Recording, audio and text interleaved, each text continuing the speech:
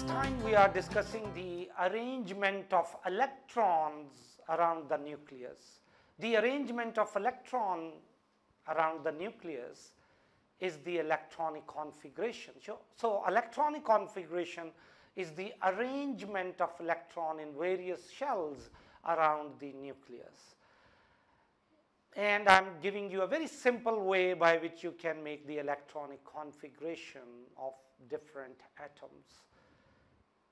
The, my method which I am going to discuss with you is depending upon the three points. And the point number one is having the priority number one. So that is the period number. So period number tells us the number of shells in the atom. So the atom which electronic configuration I would like to make I must first of all look that which period number it belongs to and this is the priority number one to look at the period number of the atom which electronic configuration we are going to make. Number second priority will be given to the group number. The group number tells us the number of electrons in the last shell. And the third priority will be given to the rule 2n square where n is the shell number. So I may apply it for shell number 1, shell number 2 or shell number 3 that if n is 1, so according to 2n square, if it is shell number 1, so in place of n I can put 1. So it is 2 n square 1 square because it is shell number 1. So 1 square is 1, 1 into 2 are 2. It means that the first shell can maximum have 2 electron which we have already discussed. For shell number 2, so n is 2, so the rule is 2n square. So in place of n I will put 2. So 2 square is 4 and 4 2s are 8. So the second shell according to 2n square rule can maximum have 8 electron and if it's n3 for the third shell so in place of n I can place or I can put 3. So 2n square 2 3 because it is a shell number 3. So 3 square 9 9 2s are 18. So the third shell can maximum have 18 electron but we should not forget that the priority number 1 is the period number, the priority number 2 is the group number and the 2n square rule is having the last priority and this is I am going to apply these three points to draw the electronic configuration of various atoms before you.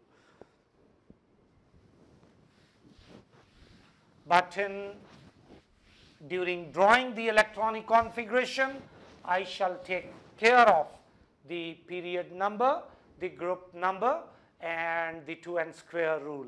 And I should not forget that the first priority will be given to the period number, second priority should be given to the group number and that last priority, the third priority will be given to the 2n square rule. So for example, if I would like to draw the electronic configuration of carbon, 6, 12. So you can look at the periodic table, periodic table will be given to you in the examination hall and you should consult periodic table the carbon 612. So the we have already discussed to find the number of proton, number of electron and number of neutrons. So its protons are 6 because the proton number is 6. If protons are 6, electrons must be 6 because protons and electron in the atom are equal because atom as a whole is a neutral particle and we know that neutrons we have discussed the method to find neutron that is the nucleon number equal to proton number plus neutron number. Nucleon number is 12, protons are 6 plus neutron and neutrons are 12 minus 6 and neutrons are 6. So we can say that and we have found out that protons are 6, electrons are 6 and neutrons are 6. And next I will try to find out which period number, which group number uh, it belongs to, I mean the carbon belongs to. So the carbon belongs to